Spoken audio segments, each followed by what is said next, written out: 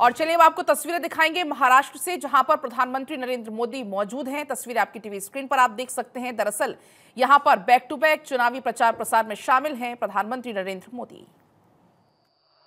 वाहे गुरु जी का खालसा वाहे गुरु जी के फतेह। नरेंद्र मोदी जी आगे बढ़ो। नरेंद्र मोदी जी आगे बढ़ो। सिखों के दसवें गुरु गुरु गोविंद सिंग यांना देखील नमन। जगभरामध्ये लोकप्रिय असलेले विश्व नेता